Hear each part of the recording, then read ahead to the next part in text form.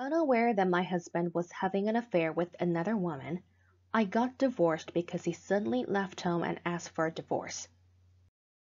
I found out that he's having an affair with another woman in the process of divorce. He doesn't pay child support, but comes to see the children once every week.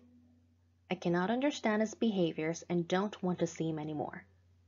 But my children like him. There are cases of having a divorce without knowing the spouse's infidelity. If your husband suddenly asks you for a divorce, that is not because there is a certain problem, but because he has found another woman to substitute your role and have fun with. There are some cases that a man chooses to divorce to protect his wife and children from possible dangers after he failed his business. But other than that, major cause of divorce is usually related to husband's infidelity who would have custody of the children was determined, and he also promised to support child rearing expenses. However, he's not keeping his words. Well, it is because people having extramarital affairs do not have the basic concept of human relationships. Because of this, when it comes to the children, he does whatever he wants in a way he feels comfortable. He won't do it if it stresses him out. He doesn't even remember whether he gave the child rearing expenses or not, because problems in his human relationships have become that serious due to this psychological disorder. At this point, he comes to see his children for two possible reasons. First is because he likes his children, and the second is to see his ex-wife. Or it could possibly because he wants to monitor his ex-wife.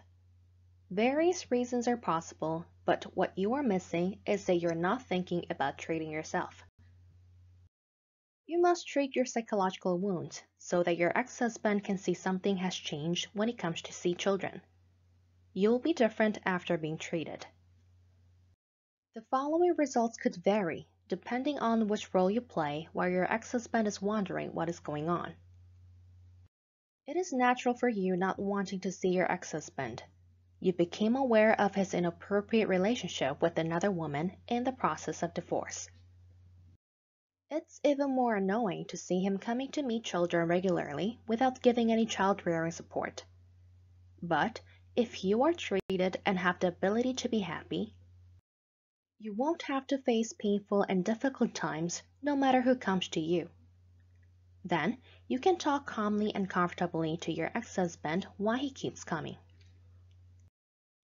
Currently, you accept his attitude and worry that it'll be a problem for children's liking about their father if you don't let him come. But the relationship of children and father is not going to be a matter to you anymore if you are treated.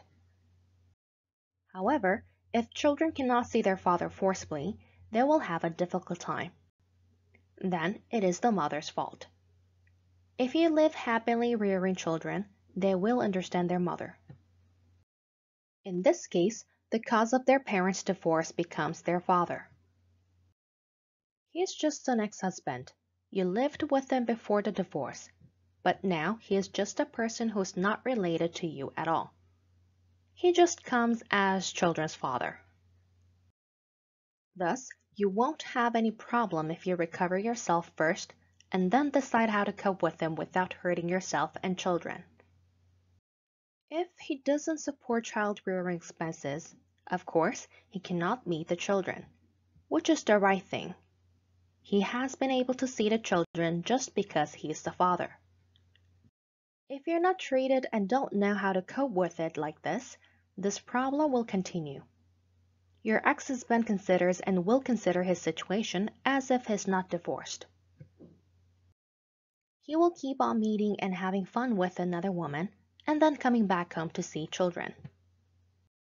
The woman he has an affair with is more likely to be a married woman if he comes only on weekends to see children.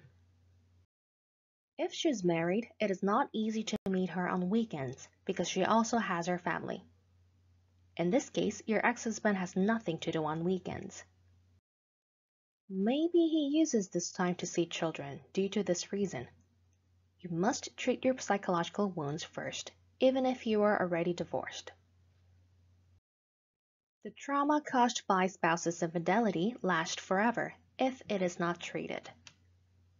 Just be reminded that it is not late to think about the relationship with him later after your wound treatment is done while protecting children.